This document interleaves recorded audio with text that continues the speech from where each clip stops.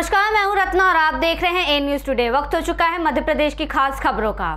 देवास ज़िले के पीपल नेरिया और सीहोर ज़िले के छिपानेर के बीच ककेड़ी नदी पर रहवासियों को आने जाने के लिए नाव का सहारा लेना पड़ रहा है। बता दें, ककेड़ी नदी पर पुल बनने का काम पिछले तीन महीने से चल रहा है। इस पुल के निर्माण होने से तीन दर्जन से अधिक गाँव के लोगों को आने जाने से आसानी होगी। लेकिन पूरी तरह से पुल नहीं बन पाने की वजह से लोग जान जोखिम में डालकर नाव से आना जाना कर रहे हैं। इस मामले पर जब पुल बनाने वाली कंपनी के ओनर सिद्धार्थ से बात की गई तो उन्होंने कहा कि पुल बनाने का निर्माण करने का समय एक साल का है, जिसकी निर्माण करने की राशि चार करोड़ अट्ठाईस लाख रुपए आ रही है।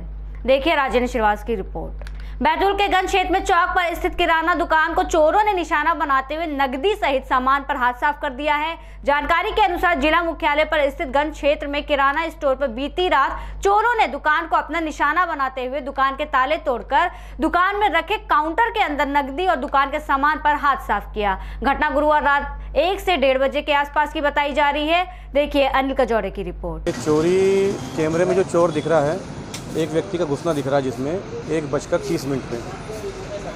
उसने पहले लकड़ी से कैमरा बैंड किया है, उसके बाद अंदर घुसा है। अंदर घुस के उसने सबसे पहले डीवीआर की वायरें निकाली है और उसके बाद उसने घटना को अंजाम दिया है। प्राथमिक दृष्टि से ये पहली तो ये दिख रहा है कि चोरी बड़ी है। अज्ञात व्यक्ति के द्वारा चोरी करने की सूचना प्राप्त हुई। दुकान को जो है पूरा घटनास्थल को एक बार हमने तस्दीक किया अभी। तो एक व्यक्ति इसमें दिखाई दे रहा है अपने को फुटेज में। और दुकान से जो है सिगरेट के डिब्बे ये इसमें जो है चोरी हो, होने की अपने को अभी तक जो तस्दीक इतनी चीज़ें मिली है। और बाकी तकनीकी सहायता और सीसीटीवी कैमरों और बाकी जो है और भी संसाधनों के माध्यम से जो है इसको अपन ट्रेस करने का प्रयास करेंगे। डिंडोरी ज़िले में तीन दिन से हो रही बारिश से निर्माण कार्यों में बढ़ती जा रही लापरवाही ने खोली पोल। ताज़ा मामला ग्राम पथरिया का है, जहाँ मनरेगा योजना के अंतर्गत गर्मी में लगभग 14 लाख रुपए की लागत से तालाब का निर्माण कराया गया है, जो पहली बरसात में ही फूट गया। ग्रामीणों ने निर्माण एजेंसी ग्राम पंचायत पर निर्माण कार्य में गड़बड़ी के आरोप लगाए हैं। उनका कहना है की ग्राम पंचायत ने ठीक ढंग से तालाब का निर्माण नहीं करवाया, जिसकी वजह से पहली ही बारिश में तालाब बह गया है। मजदूरों की बजाय मशीनों से काम करवाया गया है। ये इनका आरोप है। डिडोरा से देखे भीमसेन ठाकुर की रिपोर्ट। ग्राम पथरिया में अमरूद सराबर तालाब जो बना वो दो तीन दिन की बारिश में फूट गया। उससे बना है रोज़गार गारंटी योजना से पुराना काम है वो। उसमें अभी काम चालू था। कटिंग वाला पूरा काम चल रहा है उसमें। ऊपर से ओवरफ्लो होने के कारण उसका पानी वो बहुत ज़्यादा एकदम सूख गया तो ऊपर बह गया मतलब ऊपर शिवपुरी पुलिस अधीक्षक रघुवंश सिंह भदौरिया के अवैध मादक पदार्थ और अवैध शराब रखने और बेचने वालों के प्रति कार्रवाई करने के निर्देश पर आज करेरा थाना पुलिस ने तीन व्यक्ति को अवैध स्मैक के साथ पकड़ा। बता दें आरोपियों के कब्जे से 10 ग्राम स्मैक जिसकी कीमत लगभग एक लाख रुपए है और एक बाइक बरामद की गई है। देखिए कुलदीप गुप्ता की रिपोर्ट। गदाई तरफ़ से कुछ लोग स्मैक लेकर मोटरसाइकिल से आने वाले। सूचना पर से गदाई तरह पर दबिश दी गई। तो तीन व्यक्ति मोटरसाइकिल से आते दिखे जिन्हें घिर कर पकड़ा। नाम पता उनका पूछा। तो बल्लू राय, निवासी अमोला राय सिंह रावत, निवासी बासगढ़ सोनू कुटीक, निवासी करेरा के मिले। जिनके कब्जे से दस ग्राम इसमें चार सौ रुपये नकद बरामद किए गए तथा एक मोटरसाइकिल बरामद की गई है। कुल एक लाख, कुल डेढ़ लाख रुपए एक लाख की स्मैक और पचास हज़ार रुपये की मोटरसाइकिल बरामद की गई है। टमाटर के बढ़ते दाम के बीच युवा कांग्रेस ने भोपाल चौराहे पर टमाटर के हार पहनकर महँगाई के विरोध में किया अनोखा विरोध प्रदर्शन। एनएसयूआई प्रदेश अध्यक्ष आशुतोष चौकसे ने कहा कि देश भर में इस वक्त महँगाई ने जनता का हाल बेहाल कर रखा मंडी में सब्जियों के दाम आसमान छू रहे हैं। बता दें, इस वक्त बाज़ार में सब्ज़ियाँ 80 से सौ रुपए किलो बिक रही है। बता दें, सब्जियों के दाम इसलिए बढ़े हुए हैं क्योंकि इस समय सब्जियों की सप्लाई मार्केट में कम होने के चलते दाम बढ़े हुए हैं। बीते दिनों हुई बारिश से सब्जियों के दाम आसमान छू रहे हैं। लगभग सब्ज़ियाँ सौ रुपए प्रति किलो चल रही हैं, जिसमें टमाटर, अदरक, धनिया के भाव से भारी उछाल आया है। कार्यकर्ताओं ने ऐलान किया कि महँगाई कम नहीं हुई तो युवा कांग्रेस के कार्यकर्ता बड़ा आंदोलन करेंगे। बारिश के कारण इन दिनों जगह जगह जल भराव की स्थिति बनी हुई है, जिससे लोगों को परेशानी का सामना करना पड़ता बता दें कि स्टेट हाईवे 11 से लगे डेला ग्राम में हाईवे में ही जल भराव की विकट स्थिति बन जाती है, जिससे पूरा का पूरा स्टेट हाईवे प्रभावित हो जाता है। बताया जा रहा है, समस्या दशकों से है और लोग प्रशासन सहित चुने जनप्रतिनिधियों के यहाँ हर वर्ष उस समस्या से निजात दिलाने के लिए पहल करने की मांग करते हैं। देखिए प्रशांत शुक्ला की रिपोर्ट। हमने मामले को लगता है जगह आवेदन दिया था पूर्व में पंद्रह दिन पहले। सीएसआर के मत के तहत ये व्यक्ति के माध्यम से हमारा आज निराकरण हो रहा है। जल भरा समस्या विगत वर्षों से बनी थी जिला सेंट्रल के बीच में, आज निराकरण हो रहा है। स्थानीय जल के माध्यम से हो रहा है और क्षेत्रीय जलमानस के माध्यम से हो रहा है।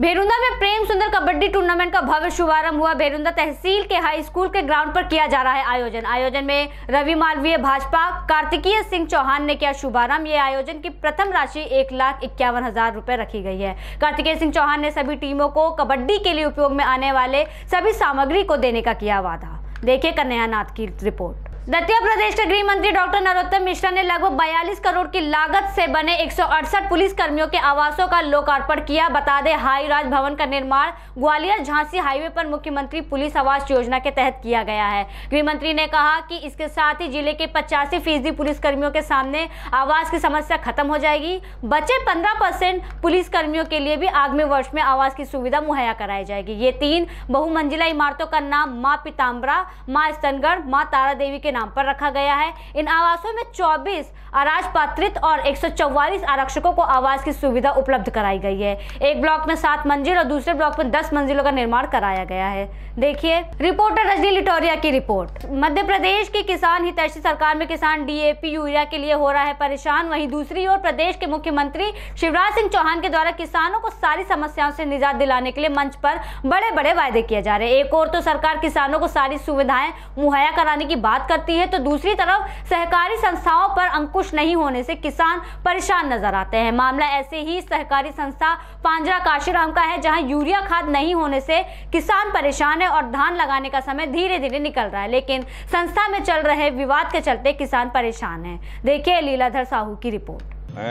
धान की, बोनी की बिल्कुल तैयारी है सर, लगाने की और डीएपी यूरिया नहीं मिल रहा है। सभी किसानों को पांजरा सोसाइटी थे जिसमें ऊँटिया सिलवाया अलीवाड़ा हड्डो शिनवाय पांजरा ये गाँव जुड़े हुए हैं। किसी भी किसान को यूरिया डीएपी नहीं मिल डॉक्टर नरोत्तम मिश्रा को लेकर कांग्रेस नेता फूल सिंह बरैया द्वारा दिए गए आपत्तिजनक बयान पर मंत्री ने कहा कि मेरे पिता के निधन को लंबा अरसा हो गया है। ऐसे में राजनीति में उनका नाम लेकर घसीटना कहीं से भी उचित नहीं है। दतिया में आयोजित एक कार्यक्रम में शिरकत करते हुए उन्होंने कहा कि ये वो अपने राजनीतिक विरोधियों को उनकी भाषा में जवाब देने में विश्वास नहीं रखते हैं। वो तो सिर्फ़ जनसेवा के माध्यम से जवाब देने में यकीन रखते हैं। उनका संस्कार भी ऐसे नहीं है कि वो अपने विरोधियों के खिलाफ दोयम दर्जे की भाषा का उपयोग करें। डॉक्टर मिश्र ने कहा कि राजनीति में संयमित भाषा होना चाहिए। मुझे पिता के समान प्यार किया और मुझे अंगीकार किया और स्वीकार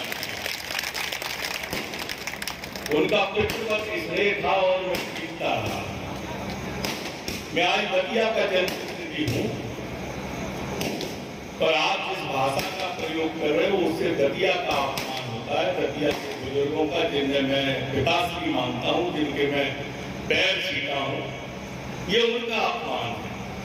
संसंग नगर में एक घर से देर रात अमित प्रवाह नाम का व्यक्ति बछड़े को धक्का मारकर ले जाता दिखाई दिया जिसके कुछ देर बाद वो निवस्त्र भी नज़र आया, फिर बाद में कपड़े पहनते बाहर आता दिखाई दे रहा है। इस हरकत की वीडियो सोशल मीडिया पे वायरल हो रही है, जिसके बाद शिवनगर निवासी सुभाष ठाकुर ने घर से बछड़ा चोरी करने की शिकायत थाने में की। शिकायतकर्ताओं ने आरोप लगाया की एकादशी के दिन बछड़ा चोरी किया गया। बछड़े को तंत्र मंत्र के लिए बलि दी गई है, जिससे बछड़ा अभी तक मिल नहीं पाया है। देखिए प्रवीण तिवारी की रिपोर्ट। शिवपुरी पुलिस अधीक्षक रघुवंत सिंह भदौरिया के अवैध शराब माफियाओं पर कार्रवाई करने के निर्देश पर करैरा थाना पुलिस ने अवैध शराब माफियाओं पर बड़ी कार्रवाई करते हुए दो अलग अलग जगह से दो शराब माफियाओं को दो कैनो, जिनमें सात साठ लीटर हाथ भट्टी की बनी कच्ची शराब के साथ पकड़ा। दोनों आरोपियों के विरुद्ध आबकारी एक्ट के तहत मामला दर्ज कर जेल भेज दिया गया है। देखिए कुलदीप गुप्ता की रिपोर्ट। कोटलबर्री में छोटी सी बात को लेकर विवाद इतना बढ़ गया कि युवक ने कुल्हाड़ी से हमला कर दिया। घायल युवक को हंड्रेड डायल की मदद से जिला अस्पताल में भर्ती कराया गया। आपको बता दें कि ग्राम कोटलबर्री में छोटी सी बात को लेकर पड़ोसी ने युवक पर हमला कर दिया। घायल युवक की पत्नी ने बताया कि पड़ोस में रहने वाले मंतोष बाहर खड़े होकर बाथरूम कर रहे थे, जिस पर मानसिंह ने उसे समझाने की कोशिश की, लेकिन मंतोष ने झगड़ा चालू कर दिया। बात इतनी बढ़ गई की छोटी सी बात को लेकर युवक ने घर से कुल्हाड़ी निकालकर मानसिंह बंदेवार पर कुल्हाड़ी से हमला कर दिया। पुलिस ने मौके पर पहुंचकर आरोपी को गिरफ़्तार कर न्यायालय में पेश किया है। फ़िलहाल के लिए इतना ही। देश और दुनिया की तमाम बड़ी खबरों के लिए बने रहिए ए न्यूज़ टुडे के साथ।